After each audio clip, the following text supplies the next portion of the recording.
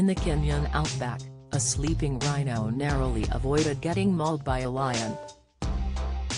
The rhino in question was the Masked Singer winner Charlie Simpson, who specifically selected his elaborate costume as a nod to his wife Anna's roots. My wife grew up in Kenya, the busted star says. I spend a lot of time in Kenya and we spend a lot of time on safari.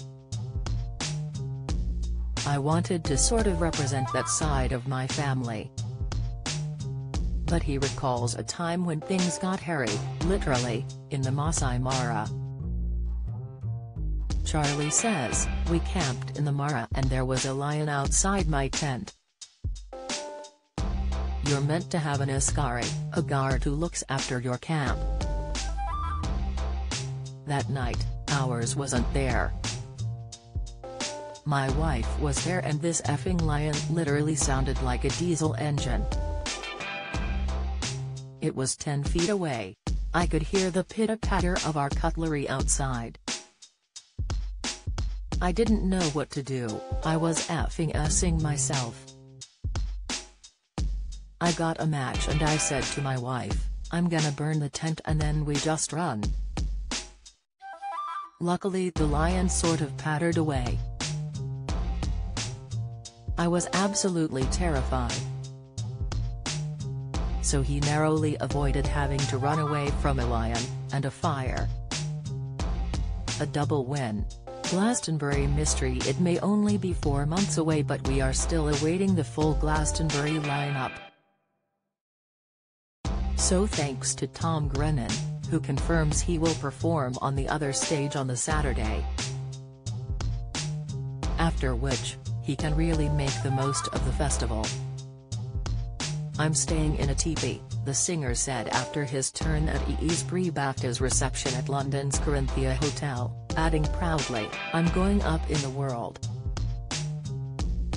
bittersweet time while it's lovely for BAFTA's Best Actor Austin Butler to be celebrated during awards season for his role as Elvis, it comes amid a time of grieving for the King's family after the loss of Lisa Marie Presley last month.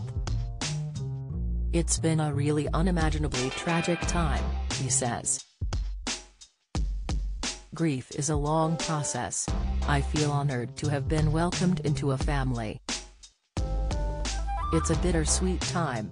Lisa Marie, who was Elvis's only child, had praised director Baz Luhrmann's spectacular biopic, and said Austin channeled and embodied my father's heart and soul beautifully.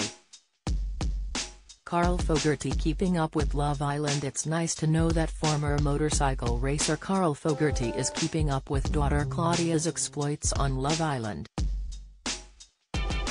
although he might not have been happy to see her partner, Casey O'Gorman, being straddled and kissed by another girl while Claudia was in Casa Amor. But in footage shown on Love Island's spin-off After Sun, the family cheered Casey when he returned to Claudia, with Carl urging him, pick her, I know you want to. Don't risk the wrath of the fogs,